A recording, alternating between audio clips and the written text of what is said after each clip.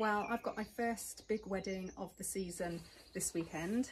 So I try and make myself a jobs list and do as much as I possibly can ahead of time so that I'm not panicking at the last minute. So on the jobs list today, I'm going to be soaking some moss, which I'm using in some big installations because I don't use floor foam.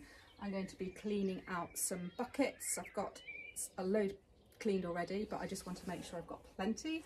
Um, and I've got some milk churns. I just want to give them a quick wash over as well. Um, I've got all sorts of other things too, but that's just for starters.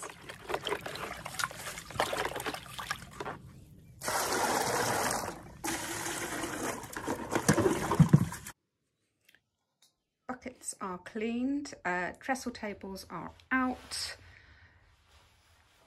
the churns are being cleaned and the moss has been soaked and draining.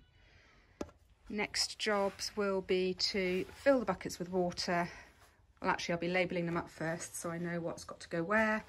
So um, I can, I've got everything in an order.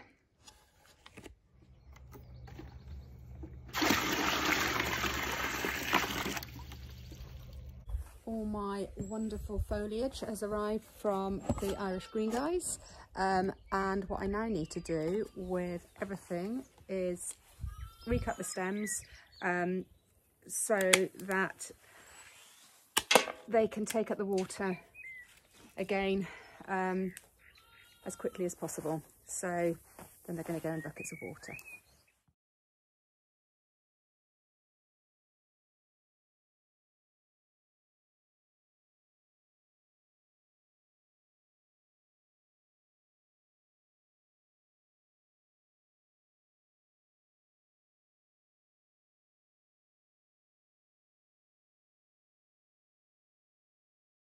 I'm just making my mossages right now for my um, floral hoop and I've cut the wire about a foot wide, laid it on with a nice even amount of moss and I'm just going to roll it up to make a sausage or a mossage.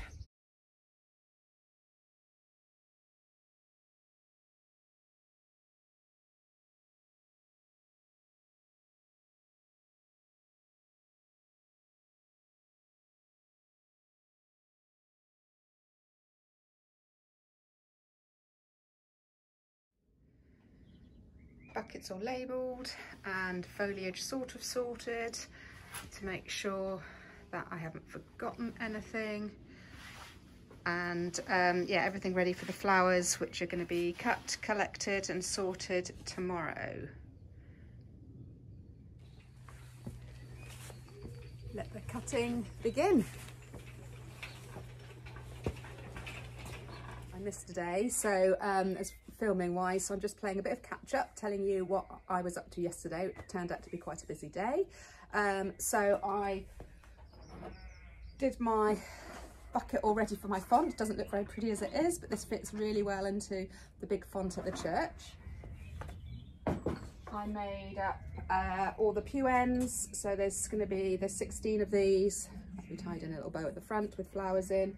Um, so that's all done and ready and uh, collected a load of flowers. Um, uh, Anthea helped me with that and we sorted out all the flowers so we know exactly what's going where. Um, and I popped down to the Marquean Church just to double check a couple of things as well. So let me show you the flowers.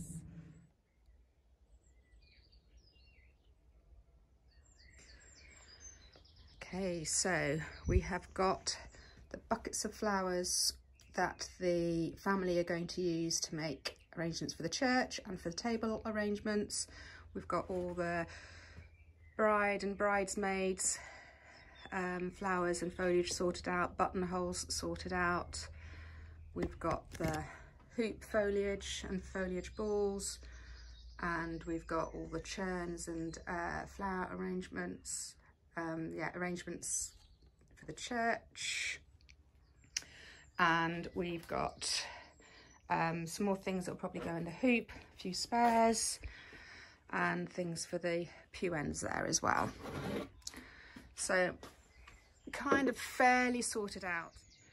So vans are packed, got my lovely friend Caroline helping me and um, yeah we're ready to roll rock and roll down to the church. We've got my coffee and biscuits of course.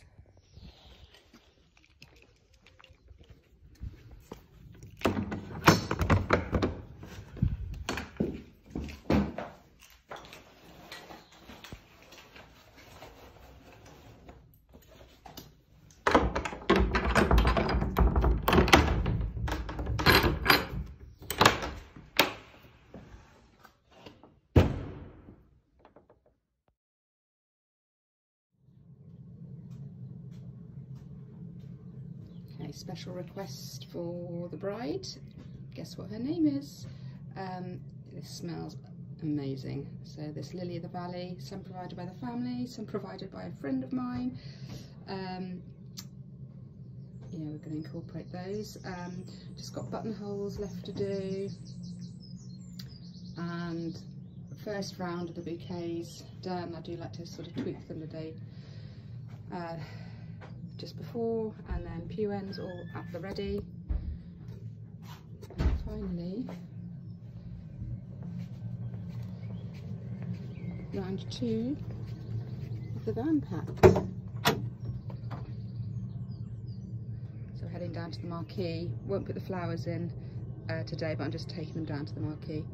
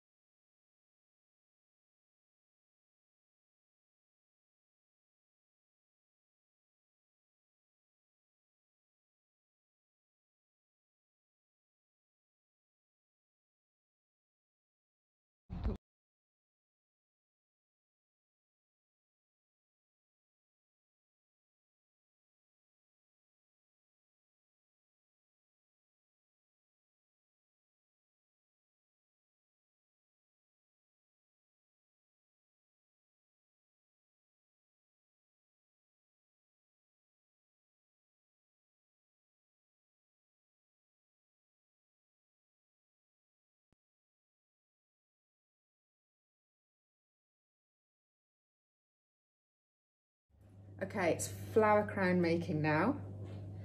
Um, so I had some fabulous help this morning and a load of wiring has been done. Wiring of these flowers has been done. I don't normally wire that many flowers, but um, these flower crowns are for some uh, some little girls and they the flowers are quite delicate. Um, so this morning I was at the marquee making the, um, starting to make the floral hoop and the foliage balls. Um, we went to the church, um, Caroline and I, to, um, oh yeah, do a garland at the gate um, and just to check on things there.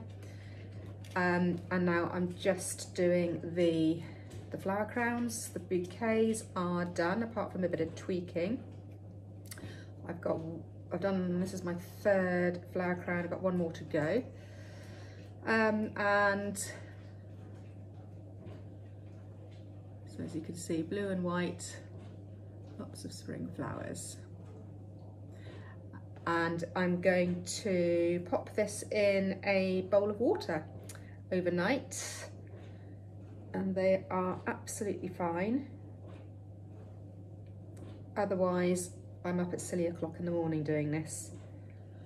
And I don't think that you can sustain that sort of if you're doing that week in week out. So yeah I've had fantastic help from Anthea, Steph, Caroline so far and Demelza as well all doing little bits and pieces for me. Um, so amazing. So I'm still hard at it and um, yeah, I'll keep you updated. It's the morning of the red wedding and last night I made the flower crowns, the buttonholes have all been made, just uh, left in water. Ribbons of various sizes have been cut, ready for the bouquets, flower crowns, buttonholes, etc. Um, so yeah, just need to start ribboning up now. It's around about half past six.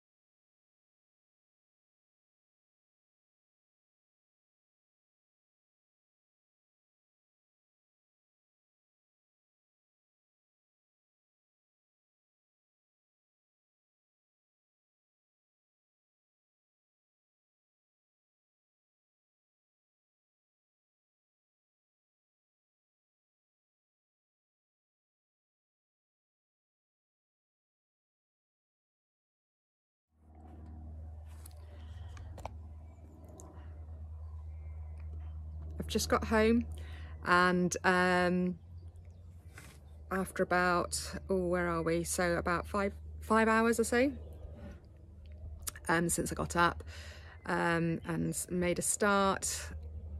We've got everything out of the church, milk churns are out and um, outside the church, pew ends are on, floral hoops been done at the marquee, flower crowns, flower girl posies, bridesmaids bouquets, bride's bouquet, corsages, buttonholes, I've already said that. Um, anyway, all the flowers have been delivered.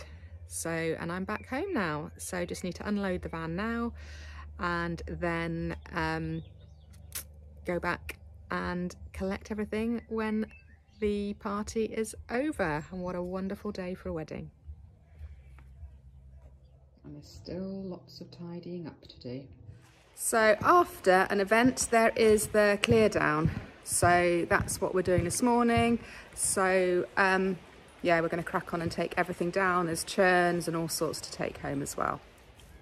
The last thing to do is clean those buckets ready for the next event or wedding.